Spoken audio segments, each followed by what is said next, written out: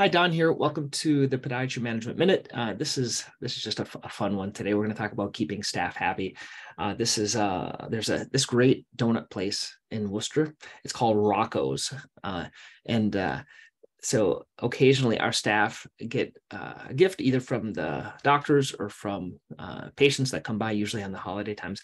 But these are the best donuts ever. These are like fruity pebble donuts and uh, I uh, I bring my my kids to this place after we get our usually we have this system like every month or so I bring my son to get his haircut. And then we occasionally go to this place but these are like double the size of any other type of donut. But what are things that you can do uh, to keep your staff happy? Uh, usually it involves like carbohydrates and food and sugar and things like that uh, even if you don't partake, uh, the staff do appreciate that. So that's something you can do to keep your your staff happy. Um, if you guys have other ideas, just uh, click the link underneath this video. Let me know what your thoughts are, uh, what other things you have that can help your your staff be happy, and I will put that in another video. Thanks.